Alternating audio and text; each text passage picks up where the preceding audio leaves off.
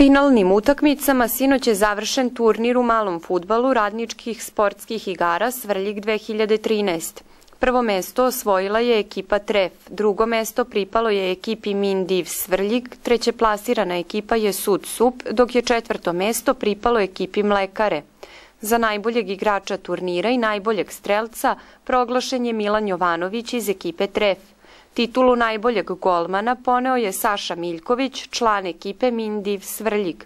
Dobrivoje Stojanović, poverenik i Nebojša Ranđelović, član povereništva Saveza samostalnih sindikata Svrljiga, najuspešnijim ekipama i pojedincima uručili su pehare, medalje i diplome.